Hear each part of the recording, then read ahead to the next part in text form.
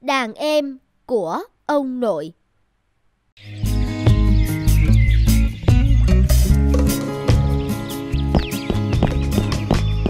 Bà nó ơi, đỡ tôi một tay nào. Giữa trưa oi nắng, ông đi mua những thứ này về làm gì? Tôi định à, trồng một vàng chanh leo. Hôm trước tôi nhờ ông bạn mua mãi mới được giống chanh quý. Ờ, vậy ông đã nghiên cứu cách trồng chưa mà đã đầu tư kỹ thế? Tôi đã tính toán hết rồi. Hơn nữa đây là giống chanh leo quý. Mình về hưu rảnh rỗi quá à. Tôi với bà tiện chăm vàng chanh leo. Vừa lấy bóng mát mà thỉnh thoảng à, có quà cho con cháu. Vào mùa hè nước chanh leo mát lắm. Hừ quá, lại là mấy đứa nhỏ sống trên đây mà. Nhà bà bị mất gì à? Hey, vâng, ông xem nhà có cây bưởi mới bói được mấy quả, ăn vẫn còn đắng. Vậy mà tụi nhỏ vặt không còn sót quả nào. Sao bà không báo cho ba mẹ chúng nó để nhắc nhở? Ông bà không biết ở xóm trên có mấy đứa nhỏ nghịch ngợm lắm. Nhắc nhở nhiều lần mà không có được.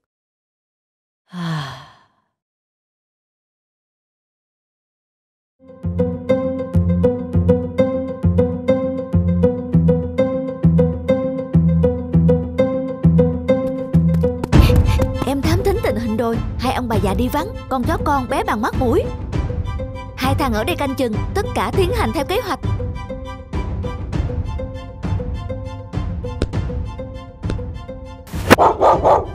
Có chó dữ Rút thôi tụi bay Mấy đứa đến thăm ông Sao lại chọc chó vậy hả Cứ bình tĩnh xuống kẻo ngã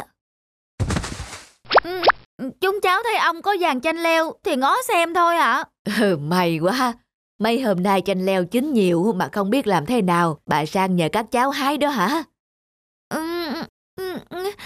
Ông ơi, sao ông xuất hiện xuất quỷ nhập thần thế mà chẳng có đứa nào chúng cháu phát hiện ra? Ông có biết võ không? Tất nhiên rồi. Hồi xưa ông là lính đặc công thư thiệt đó nghe. Thật hả? Ông có võ sao? Ừ đúng thế, các cháu xem nha. Wow, ông có võ thật. Ông ơi, ông dạy cho tụi cháu đi. Được, vậy các cháu phải gọi ta là sư phụ Làm gì cũng phải nghe lời sư phụ Các cháu đồng ý không? Đồng ý, đồng ý, đồng ý Một, hai, một, hai Một, hai, một, hai.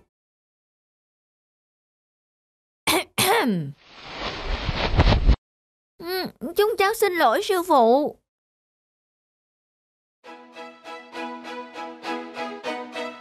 Linh cẩn thận coi chừng té. Tuân lệnh sư phụ. Quý hóa quá May có ông và các cháu đến giúp. Mọi người nghỉ tay ăn khoai đi Mấy hôm trước, bà Thanh còn mang sang nhà cho bà mình mấy quả bưởi. Từ nay, tụi mình đừng đi ăn trộm, Phá phách nữa. Sau này, mình muốn vào quân đội Để trở thành người lính giống như ông.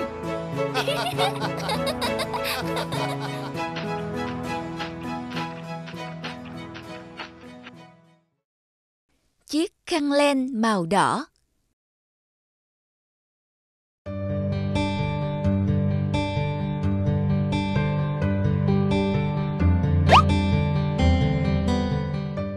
Trời, cậu đã mua được cả điện thoại xịn mới ra mắt thị trường sao? Nghe đâu, còn chưa công khai bày bán ở trong nước mà. Phải rồi, giá của nó lên đến 30 triệu cơ đấy. À, người yêu tớ đi công tác bên Nhật, dòng điện thoại này mới được ra mắt bển xong cái là ảnh phải mua ngay liền cho tớ. Ghen tị với cậu quá đi, người yêu chịu hết cỡ nhá. Gớm, túi sách hàng hiệu mới của bà cũng có phải tầm thường đâu. Thấy khoe trên Facebook là bạn trai mới mua tặng phải không? À, ừ. Chúng nó sướng thật đấy, được người yêu cưng chiều tâm lý thế cơ mà. Nay là Noel, ông tướng kia bận biểu cả ngày, không biết có nhớ mà mua quà tặng cho mình không nữa. Em đến lâu chưa? Hôm nay anh bận quá nên chẳng kịp chuẩn bị gì nhiều.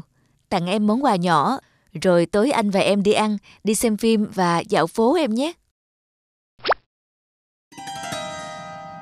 Mùa đông năm nay lạnh lắm, họng em yếu hay bị ho, mà lại không thích mặc áo len cổ lọ. Nên anh mua chiếc khăn này để em quàng giữ ấm. Màu đỏ có hợp với em không nhỉ? Em quàng lên cho anh xem nào. Thôi, để sao đi anh.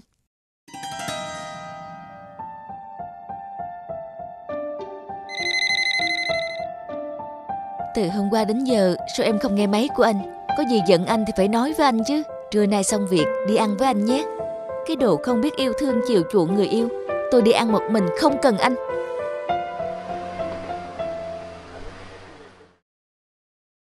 Cho cháu một bún bò đầy đủ à? Ừ, có ngay. Chẳng có anh tôi vẫn tự lo được. Vẫn tự đi ăn bún bò một mình được có sao đâu. Ngồi bàn này nha anh. Trời hôm nay oi thật. Cậu chàng kia chắc phải chiều chuộng lắm mới yêu được cô bé xinh đẹp thế kia chứ. Em ăn tô bún bò đầy đủ nhé. Không, em ăn bát thường thôi, anh ăn bát đầy đủ đi. Không, để anh ăn bát thường, em ăn bát đầy đủ đi cho béo. Béo mới xinh chứ. Gớm, nhìn anh mới là con cá mắm khô gầy đét ra. Em quyết định rồi, em ăn bát thường thôi. Chị ơi, cho em hai bún bò, một thường, một đầy đủ. Gớm, tôi bún bò đầy đủ mắc hơn có 10 nghìn chứ mấy. Mà đôi này cứ nhường qua nhường lại, chi bằng gọi luôn cả hai đi cho xong. Đỡ phải nhường nhau chi cho mệt. Em ăn tô đầy đủ đi. Không, anh ăn đi. Hôm nay là sinh nhật của anh mà. Ơ hay. Không nghe lời anh à? Em ăn móng giò béo lắm rồi. Anh ăn hộ em hai viên giò này nha. Em thích ăn thịt bò lắm phải không? Ăn thêm của anh nữa này. Không được gấp sang cho em nữa nghe chưa? Em ăn vậy là đủ rồi. Ăn nữa là em nổ bụng luôn đấy. Mà em có uống nước ngọt không? Vậy anh cũng uống luôn nha. Không, anh không có khác. Kêu lên cho em uống thôi. Đã nói hôm nay là sinh nhật anh thì cứ ăn sang hẳn một bữa đi. Vậy mà từ sáng tới giờ đi đâu ăn gì cũng như người ta. Rồi còn kêu không cần không cần, mệt ghê. Ờ, anh không khác thật mà. Anh gọi cho em nha. Anh không muốn uống á, thì em cũng không uống. Nhịn một thể cùng nhau luôn. Thôi được rồi. Chị chủ quán ơi, cho em một chai nước ngọt với hai cốc đá nhé. Thế đã được chưa nào? Mình cùng uống nhé. Gớm, thời buổi nào rồi mà còn thể hiện tình cảm sến sẩm thái quá vậy cơ chứ. Kêu luôn hai bát bún bò đầy đủ, hai chai nước ngọt đi cho rồi. Lại còn nhường qua nhường lại chia cho phải dỗ dành nhau. Từ sáng đến giờ mình tiêu hết bao nhiêu tiền rồi anh? Tầm gần 200 rồi em à. Tí nữa tụi mình đi xem phim nhé. Không phải lo, em còn tiền mà. Hôm nay sinh nhật anh phải thoải mái một chút chứ. Với lại, nay là thứ ba ngày sinh viên. Chỉ cần có thẻ sinh viên là được hưởng giá ưu đãi rẻ hơn một nửa đấy. Rồi rồi, em thích là được mà. Thế anh còn bao nhiêu tiền nữa? Khoảng 500. Sao còn có nhiêu đó thôi hả? Anh mới nhận lương hôm trước mà. Ừ, à, ừ, thì anh chừa tiền ra để đóng học cho em một ít và gửi về cho bố mẹ một ít. Ơ ờ, hay, anh hâm thật đấy. Sắp cuối tháng rồi, em cũng có lương làm thêm mà. Anh cứ lấy ra mà tiêu đi, không phải lo cho em. Tiền lương của em để em đóng tiền nhà với tiền ăn, cố gắng bồi bổ vào. Vừa học vừa làm vất vả, không có sức là ốm đấy. Qua giai đoạn khó khăn này, anh và em về một nhà, chúng ta sẽ có một máy ấm nho nhỏ, cùng nhau vun vén anh nhé. Được rồi, giờ ăn đi kẻo bún nở hết ra rồi kìa. Lại trương phền ra béo ú bây giờ. Cô ơi, cho con gửi tiền ạ. À? Tối em làm gà rán cho anh ăn nhé. Ừ. Ở cái đô thị ồn ào và sầm uất này, con người ta chạy theo đồng tiền đến nỗi quên mất tình cảm từ những thứ đơn giản nhất. Nhìn hai bạn trẻ trong quán bún, mình cảm thấy ấm lòng biết bao. Trời mùa đông lạnh quá, nhưng may mà có chiếc khăn len ấm áp này mà mình không còn lạnh nữa. Phải rồi, ngày xưa khi mới yêu nhau, mình và anh Phong cũng từng trải qua những giây phút khó khăn, cùng nhau chia nhau gói mì tôm, chia nhau cái bánh mì. Giờ đây khi kinh tế ổn định, cuộc sống chạy theo cuồng quay mà suýt chút nữa chỉ vì những thứ vật chất mà mình lỡ làm tình cảm của hai đứa rạn nứt. Mình phải nhanh về với anh ấy và nói cho anh ấy biết rằng mình rất thích món quà Noel này, một chiếc khăn ấm áp như chính tình yêu của anh ấy đã dành cho mình vậy. Sự tích bướm đêm Ngày xưa ngày xưa, thuở vạn vật mới sơ khai, Ngọc Hoàng ban cho các bà tiên mỗi người bảy cuộn len để may áo cho các loài vật. Nhưng vì mỗi bà tiên chỉ lấy được một cuộn len để may, nên áo chúng ta chỉ toàn có một màu. Chỉ có bà tiên tạo hóa, dùng bảy cuộn len để may áo cho loài bướm. Bởi vậy, loài bướm từ đấy cũng được mệnh danh là tiên nữ của rừng xanh. Ôi, các bạn bướm ai cũng thật rực rỡ và xinh đẹp. Cậu nghe thấy không? Ai nấy nhìn chúng mình cũng rất ngưỡng mộ.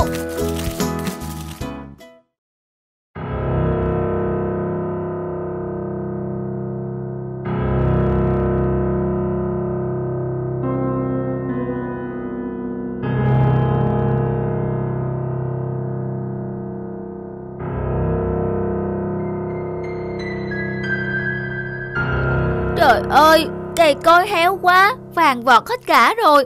Biết kiếm gì mà ăn được đây. Ôi, à, à, à.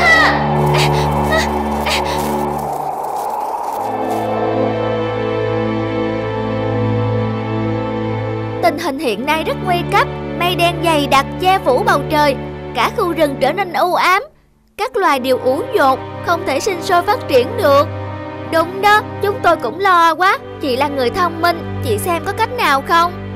Tôi cũng không biết làm thế nào, chắc phải lên thiên đình một chuyến để hỏi bà tiên tạo quá thôi.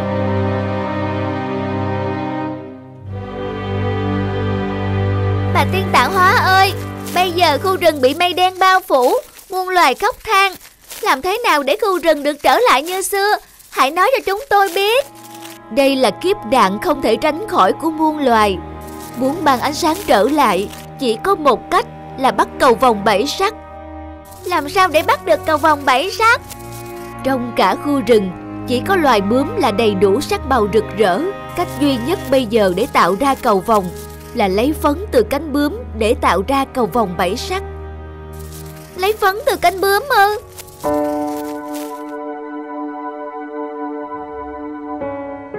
Hỏi các bạn bướm, cách duy nhất để cứu khu rừng này là các bạn hãy lấy bụi phấn từ bộ cánh của mình đang mặc để làm thành một chiếc cầu vòng. Hãy cùng tôi vũ bột màu từ cánh của các bạn ra chiếc lọ này nhé.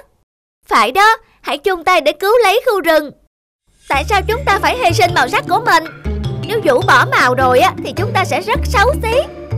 Đúng vậy, như thế chúng ta sẽ không còn là loài bướm được bao nhiêu loài ngưỡng mộ. Tôi sẽ không hy sinh sắc đẹp của mình đâu Tại sao chỉ mình loài bướm chúng ta phải chịu hy sinh chứ? Đúng thế, Tôi cũng không chịu đâu, Tôi cũng vậy. Các bạn ơi, Chỉ chúng ta mới có thể cứu khu rừng này. Để vạn vật được hồi sinh Thì hy sinh bản thân một chút có xá gì chứ? Tôi sẽ là người đầu tiên làm việc này.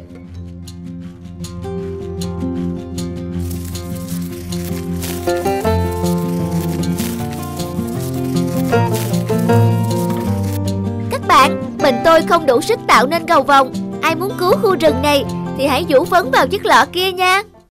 Đấy, thấy chưa? Vũ bỏ lớp phấn xong Chúng ta chỉ còn một màu nâu đen xấu xí. Tôi chẳng dạy Tôi cũng không theo họ đâu Tôi cũng thế Ơ kìa các bạn. Đừng lo, vẫn còn có chúng tôi mà. Chúng tôi sẽ cùng góp phấn cứu khu rừng này. Tôi, tôi nữa. Tôi sẽ hy sinh phấn của mình. Ôi, cảm ơn các bạn.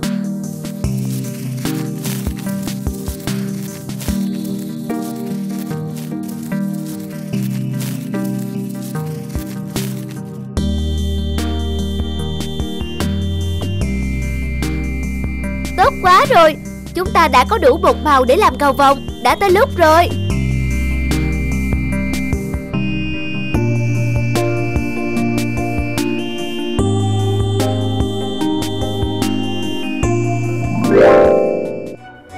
Sau khi khu rừng được hồi sinh, những con bướm mất đi màu sắc của mình. Chúng trở thành những con bướm màu nâu xám, sống lặng lẽ chủ yếu vào ban đêm.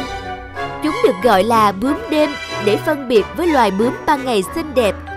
Tuy nhiên, tất cả muôn loài sẽ luôn nhớ tới chúng, những con bướm tốt bụng đã hy sinh sắc đẹp của mình vì người khác.